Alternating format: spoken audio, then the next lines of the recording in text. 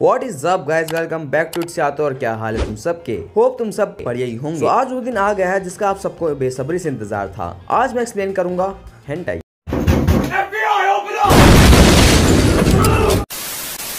मेरा मतलब the case study of Vanitas के सीज़न वन का लास्ट एपिसोड वैसे तो इसका सीज़न टू भी है लेकिन वो आएगा या नहीं। आप पर डिपेंड करता है। क्योंकि इस वीडियो पे है लाइक एम जो है हंड्रेड लाइक्स जैसे ही लाइक एम पूरा होगा सीज़न टू आ जाएगा। लेकिन अगर लाइक एम पूरा नहीं हुआ तो समझ लेना। खत्म।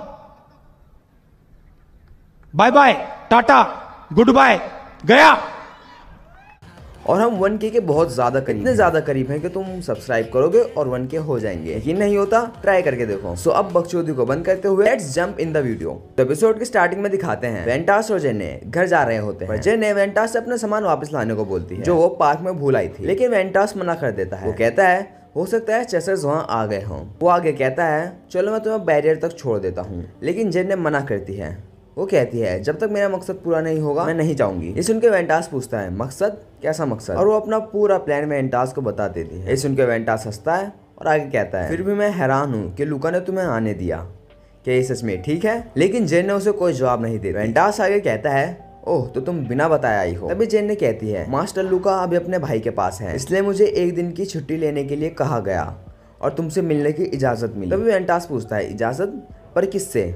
लड़ रूथोन से? इसके जवाब में जैन ने कहती है हाँ पर तुम्हें कैसे पता? और तभी वेंटास भागने लगता है। उस होटल में जाता है। वो रहते हैं। और वो नोए को आवाज़ लगाता है। लेकिन नोए वही अपनी जगह पे सोया हुआ रहता है। आगे वही सीन दिखाते हैं जब रूथवान नोए का खून पी रहा है। और रूथवान कहता है कसम खाओ एक बार जब मैं कहूँगा चाहे जो हो जाए तुम्हें मेरा हुक्म मानना होगा। कसम खाओ। और नोए कसम खा लेता है। और तभी वो बेहोश हो जाता है। तभी वहाँ पे चार्लेटन आ जाता है और कहता है क्या? तुमने उसे मार क्यों नहीं? इसके जवाब में रूथवन कहता है मेरा मन बदल गया। मुझे उस इंसान की चिंता है कि क्यों वो अपने साथ एक आर्चिविस्ट को रखे हुए है। तक इसका इस्तेमाल करना ही सही होगा। ये बस एक बच्चा है। हम जब चाहें इसे मार सकते हैं। वापस प्रेजेंट में आते हैं और जेन्ने को दिखाते हैं। वो सोचती है वेंटास ऐसे क्यों भागा? अगर वो अभी तक नहीं आया तो शायद मुझे जाना चाहिए। और तभी वहाँ पर रूथवन आ जाता है। जेन्नो से पूछती है आप यहाँ क्या कर रहे हैं? जिसके जवाब में रूथवन कहता है एक ज़रूरी काम था जो मुझे पूरा करना सुनने में आया था यहाँ एक वेम्पायर उधम मचा रहा था। तो मैंने सोचा मैं आके देख लूँ। क्या ये तुमने किया जैन ने? तभी जैन ने माफ़ी मांगने लगती है और वो वहाँ से जाने लगते हैं। आगे सीन चेंज होता है और डांटे और डोमी को दिखाते हैं जो वेंटास और जैनो को ढूंढ रहे हैं। लेकिन उन्हें वो नहीं मिलते। तो डांटे बोलता है लगता है वो भाग गए होंगे। हमें अपनी छानबीन बंद कर लेनी चाहिए। लेकिन डोमी अभी भी उन्हें ढूँढने को कहती है। तभी डांटे का बैट वहाँ पे आता है। तभी सीन चेंज होता है और रोलैंड को दिखाते हैं जो कहीं पे बैठ के कुछ पढ़ रहा है। तभी वहाँ ओलिवर आता है और कहता है मैंने सुना तुम चुपके से कुछ खोज रहे हो? जिस सुनकर रोलैंड कहता है मैं छुपकर नहीं कर रहा। मैं तो बस इतिहास पढ़ रहा हूँ। इंसानों और वैम्पायर्स का इतिहास। तभी ओलिवर कहता है लेकिन ये अभी ही क्यों? इसके जवाब में ओलिवर कहता है मैं अब तक वैम्पायर्स को पूरा शैतान मानता हुआ आया हूँ। मुझे इस पर कोई शक नहीं था ना ही कोई लॉजिक था। लेकिन मैंने जाना, ये सच नहीं। मेरी आँखें अब खुल चुकी हैं। तभी ओलिवर गुस्से में उसके पेपर फेंक देता है और कहता है, सुनो रोलन, तुम चर्च के चेसर्स हो। एक एम्पायर हर्टर्स जो भगवान के लिए काम करते हैं। अगर ऊपर वाले लोगों को ये बात पता चली तो तुम्हें खतरा माना जाएगा और बुरे से बुरा तुम्हारी फैमिली को चोट पहुंचाएँगे। ये सुनकर रोलन कहता है, कहो ओलिवर, मैं कितने पहला दिन संभाल पाऊँगा? तीन या चार? ओह, लेकिन शायद आपके खिलाफ मुझे मुश्किल होगी। ये सुन के ओलिवर सोचता है, ये सब के बाद भी ये मुझे धमकी दे रहा है। रोलैंड आगे कहता है, क्या आप समझे ओलिवर? आप जानते हो ना मैं कैसा इंसान हूँ? मैं सिर्फ़ वही मानता हूँ जो मुझे सही लगता है। वापस नोयर वेंटास को दिखाते हैं और वहाँ पे एक खिड़की से डांटे आता है और वो कहता है, कुछ चौंका देने वाला सामने आया है। वो बीस ज़िंदा है। बीस्ट ऑफ़ जियोडन दोबारा दिखाई दिया है। वेंटास हंसता है और कहता है, अब ये दिलचस्प हो रहा है। सब अच्छे से बताओ, डांटे? तभी एक बुक दिखाते हैं और वेंटास हमें नरेट करते हुए कहता है बीस्ट ऑफ़ जेमाडिन ये एक बड़े उल्ट जैसा उसका बड़ा सा मुँह नीकीले कान तेज पंजे और पूरा शरीर बालों से ढका हुआ है। और उसके पीठ पर कई सारी काली लाइंस भी हैं। एटीन सेंचुरी के दौरान जियोडन में सौ औरतें और बच्चों को चीर कर मार दिया गया था। तब बीस्ट ऑफ़ जियोडन का कहर लोगों में फैला। तभी डांटे कहता है अभी तक कुछ साफ़ नहीं कि वो बीस्ट क्या है। लेकिन तब चर्च और वेम्पायर ने एक चीज़ मानी कि बीस्ट ऑफ़ जियोडन सिर्फ़ एक कर्ज बेरिंग वेम्पायर होगा। ये सुन के वेंटास पूछता है तो फिर बताओ कि ये वही एटीन सेंचुरी वाला बीस जिसके जवाब में डांटे कहता सच कहूँ तो बता नहीं सकता लेकिन इस महीने पाँच शरीर सामने आए हैं। सभी लोगों को अलग तरह से मारा गया है। कुछ के शरीर भी फाड़े गए हैं। तभी वेंटास पूछता है एटीन सेंचुरी जैसे? डांटे आगे कहता है हाँ और इस बीस्ट को लोगों ने देखा भी है। तो तुम क्या करोगे वेंटास इसके जवाब में वेंटास कहता है मैं खुद जाकर देखूँगा कि वो कर्ज पीरर है या नहीं।